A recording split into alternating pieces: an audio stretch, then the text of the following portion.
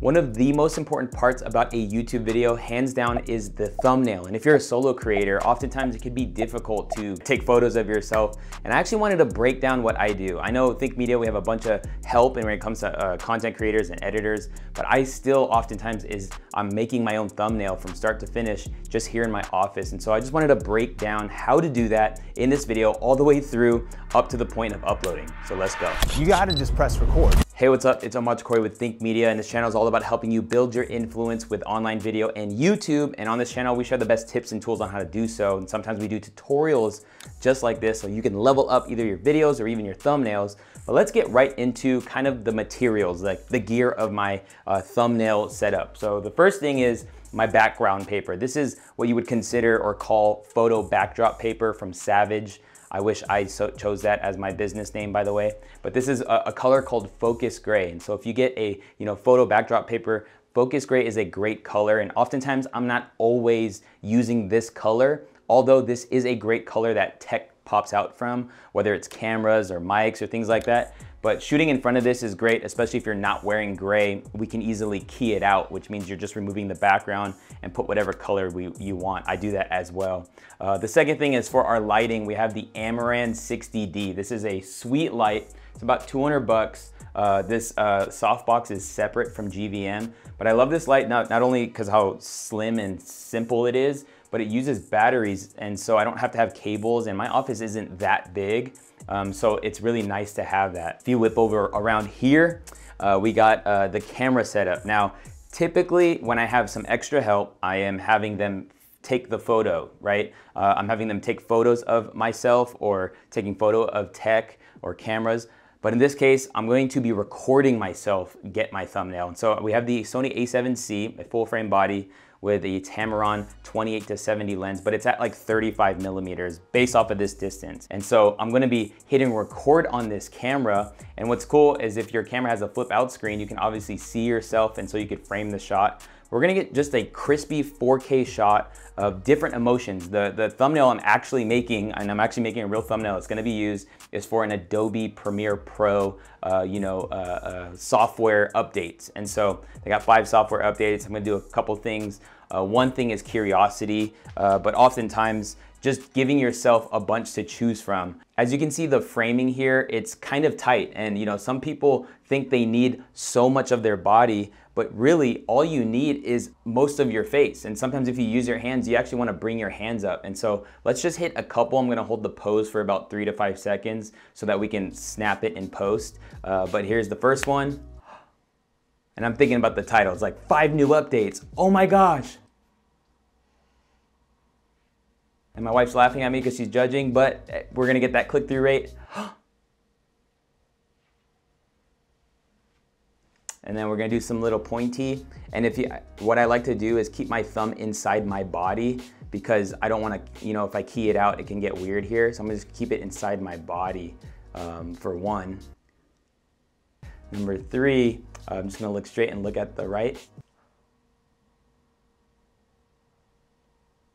Bro, YouTuber stuff, guys, YouTuber stuff. And then let's do one where I'm actually looking up. I think that'll be cool. So we're gonna put my face like right here. What, Omar, what are you doing? It's all for the thumbnail, bro. I think we got it. All right. All right, I'm gonna hit end record. I'm gonna take out the SD card and we're just going. It is, this is one take wonder going on. So I'm gonna put this in my computer and then we're actually gonna cut to the screen recording of this computer while we drag in this clip. All right, so we got the SD card plugged into my computer. Just gonna open up that SD card, go to private, M4 root, clip, which is where that video clip is, and we just preview. So here's me, and looks pretty good. All right, so I'm just gonna actually just drag that onto the desktop. And while that drags, I'm actually just gonna pull up Adobe Premiere Pro, which is my preferred editing software of choice. I'm just gonna make a location in the desktop for this. Just gonna call it thumbnail. So we're just gonna drag in that clip that we dragged onto the desktop. So I'm just gonna go to the desktop. This is the clip that I shot on the wall. We're gonna put it right here inside and it's gonna create a sequence for me based off of the clip. So this is a 4K clip. Um, and so, which is what I kind of want. So Um, so here's like a freeze frame and the way I just grab a clip is just by taking a picture here. So I'm gonna take a picture and do Adobe one. And I just wanna make sure it goes in the desktop or put it somewhere you know you can grab it later. So that's one version. Uh, we got Omar pointing. Surprise. Surprise. Oh my gosh, people click on this because I'm surprised. Adobe 2. But look, I mean, shooting a shooting one like this is just I'm getting so many options, which is so cool. Just gonna hit OK. I call that Adobe 3. Um, I'm gonna I'm gonna pass on this one because there's something about eye contact with the you know like this looks way better, you know, than me looking up to the side. And then what was the last one? It was me looking up. Cut my chin off. Oh, that's cool. All right, cool. Oh, we call this Adobe 5. All right, now we got five images to, to play, play with. Um, we have, uh, we got Adobe 1, we got surprise, we got pointy, we got oh my gosh, I'm unsure, and then we got that. So let's see what we got here. And just so you can see, like, I do this a lot. This is These are photos, so you can see how like much crispier it is. But I just did it recently for these headphones. Had, had the picture on the focus gray, and then the final product was this, which you could see is like once you start messing with it. So what we're gonna do is we're gonna open up Photoshop, and now we have tutorials on Canva, but I just wanted to show you my process. And so I'm gonna hit new file and just do 1920 by 1080, just a basic one. I'm gonna call it um, Adobe Adobe Updates. And then we're just gonna drag in those photos. And then I'm just gonna see how they look based off of um, what we, you know, got going. And I think finding that emotion, you want it to make sense. Um, you don't want it to be so random, but um, I'm kind of I'm kind of vibing with this one. So I'm just gonna click on this, number one. I'm gonna zoom it in a little bit. Remember I was telling you you don't need all that much face. So we're gonna go right there. I typically like to put myself off to the right side of the image and that's because the timestamp on YouTube shows on the bottom right and sometimes if you put too much text it can be confusing to read or what have you. So uh, the next thing I want to do is just to get the Adobe logo uh, or the Adobe Premiere logo and you can type in Adobe logo PNG or you can type in transparent um, and um, and it's going to give you the logo hopefully without anything in the back of it. So this is kind of like the updated logo. I'm just gonna right click, save image as, and then we're just gonna put in downloads, Adobe Premiere logo, and let's, um, all right, so let's just drag that logo right into Photoshop. And so um, as you can see, it doesn't have any background, there's no white, uh, which is nice. If there is, what you can use is actually the, the uh, magic wand tool. That's another tutorial. But if I hold down shift, you can see it like maintains its uh, pro, pro, proportions. Uh, if I don't hold down shift, then you can like mess it up. So just hold down shift while you scale. But I want Premiere to be the focal point of this thumbnail. So I'm gonna go like that, and then I'm just gonna type in uh, 20, let's try it, 2022, uh, 20, 22 updates and then I'm gonna change it to our vibe here at Think Media. We like a little bit of Helvetica action and uh, black will probably pop more. So I'm gonna go black. Uh, heck, I might even go purple, but let's just see. So cool. I mean, I'm, I'm, I'm kind of getting there, but now, now I need to like really dial in what I want it to say. Not always is it um, perfect right up right off the bat. You know, now I'm, now I'm feeling like um, black is actually kind of dark. So let's see how white looks. If we go with white and actually throw a uh, drop shadow behind it and we make it a little bit dark, that kind of pops more, uh, which is nice, kind of like that.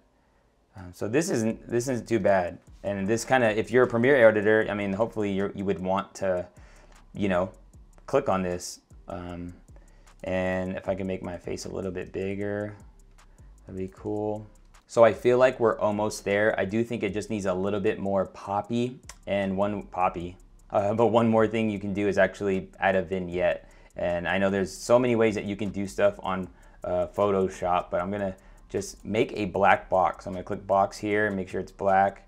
And I'm just gonna draw a black box over my image. And I'm actually gonna just uh, change the opacity of that box. Kind of like, kind of like there. It should be good, around 53. Let's call it good. I'm gonna rasterize the layer, so right click rasterize. And I'm actually gonna rasterize my uh, image layer. So this is the photo itself. And what rasterize is, is it just makes it more like edit, editable. But I wanna show you how I can delete the background of this photo. So I'm gonna hit W, hit, uh, click this area I wanna delete. And um, the magic wand tool, you wanna make sure your tolerance is at a good place also. But I'm just gonna hit delete and you can see how easy it is to just delete. And I know if you use Canva, you know, there's like a special feature that does it for you, which is nice. But as you can see, when I clicked on this, it kind of bled in. I don't want that, so I'm actually gonna turn it down and let's go like 15. 15 looks like it's good. Yeah, we're good on 15. So I'm just holding down shift, clicking, and and there, I was able to cut myself out. I'm gonna I'm gonna uh, now put a color behind me. We're just gonna change the color of the background and change the color overlay so you could see, you know, could play with different colors. Uh, so that's pretty cool. I mean, I actually like the vibe. Maybe, maybe this will work if I use this. This is, that's not the color. Give me this color. Oh, there you go. That's actually pretty strong. But now we could see what it looks like with the vignette behind it. So I'm just gonna turn back the vignette on. I'm going to make it kind of, I'm gonna put it on 24%. And I'm gonna grab my uh, eraser tool. I'm gonna bring down the hardness because I don't want it to be as harsh. And then uh, if you have a circle pattern, you can change that pattern by clicking this little mini circle. And I like the oval because I want a vignette kind of like the whole thing around my face. And so, and you'll see what I mean. So let's just go back. Let's, uh, I just jacked it up. So let's just squeeze it a little bit, like kind of like oval vibes. Cool. Then I'm gonna use the little bracket tool on my keyboard to expand this. I'm just gonna start clicking and it should, should kind of like give a nice vignette to this, um, which just adds a little bit more of a pop, or it makes me pop a little bit because the dark, the ends are kind of darker. So I think it's starting to look pretty good at this point. Uh, I, I feel like the, the logo is kind of getting lost. I'm gonna see what it looks like if I double click the logo, the uh, Premiere logo, and put an outer glow. And let's see how what that looks like if we just make it pop a little bit with a little bit of white glow. We got a little spread. So I'm starting to vibe out. This is starting to look really cool. I mean, starting to look really legit. We're getting somewhere. Now, sometimes I will tweak the image a little bit to make it pop, but I'm going to uh, hit this uh, effects icon um, and then mess with some vibrance. Maybe some uh, vibrant, we'll just add a little bit of juice to my uh, the overall photo but especially me, just because I, I feel like it's a little flat. So don't want to look orange like Oompa Loompa, but definitely want to pop a little bit because this is the YouTube and we want to pop. So that looks good. And, and if I hold down option, as you can see, it, it affected like the color of the background. But if I hold down option and you see that and I click there, it's going to now, you know, um, put it on just my image. So it, now it's just affecting my actual photo. But I think this is good. I'm going to now save this as a JPEG. So I'm gonna go File, Save a Copy, and then we're gonna go uh, make sure you save it on your computer. And I like putting it on my desktop. I'm gonna type, call it Adobe Updates, and we're gonna save it as a JPEG. And typically you're good here. I mean, uh, this YouTube should allow the this configuration as you can see here with this, whatever you see selected. So I'm just gonna hit okay. Now, Nolan from the Think Media team made a video on how to upload your thumbnail to your video, and you can do it even on your smartphone if you want to, but check out that video by clicking or tapping the screen, and I can't wait to see you in a future video. Peace.